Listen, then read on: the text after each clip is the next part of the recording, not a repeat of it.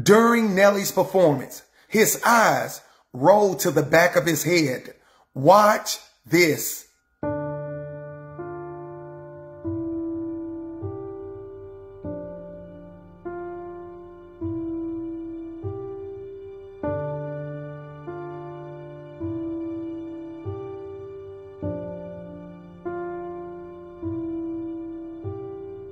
I also noticed something else interesting. So I'm going to replay the video in slow motion.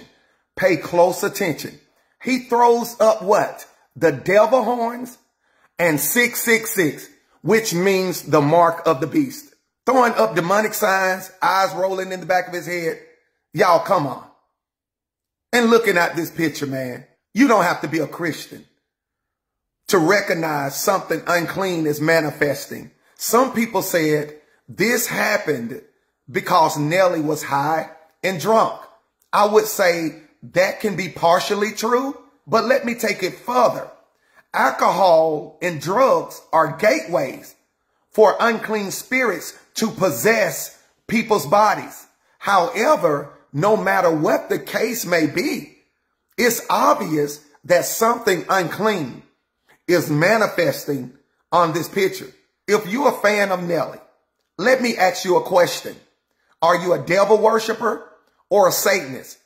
Because y'all favorite artist loves throwing up satanic imagery to y'all. Now, if you confess to worship the devil, I understand why you support people who promote demons. But if you said no, please make it make sense to me why you support people that throws up devil horns, 666, and eyes roll in the back of their head while they are performing. Look at this picture. Condescending, dark, sinister, no graphics, no designers, no makeup. This is reality. It's not art or entertainment. However, it's clear as day that something unclean is manifesting because they tapped into the demonic. They don't throw up demonic signs for nothing. Why y'all think gang members throw up gang signs? They do it to communicate. And when artists are throwing up devil horns, 666, and other occultic symbols, it's to communicate to the world. They are saying, this is whose side I'm on. Whether you believe it or not, it's all a part of the agenda. If you support this, goodness, something wrong. If somebody knocked on your door looking like this, would you open your door? Would you treat them as normal? I'm sure you wouldn't. But on the other hand, y'all give celebrities a free pass to release poison in y'all life. See, I don't care if they're a celebrity or well known whatever manifesting in their lives proves what they tapping into.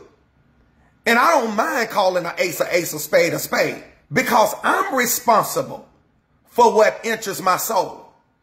And I refuse to let these celebrities deceive me and intoxicate me with their poisonous images. They can have their money, they can have this image here, and they can have their fame. But for me and my house, we're going to serve the Lord. And we're not coming out like this. God bless you.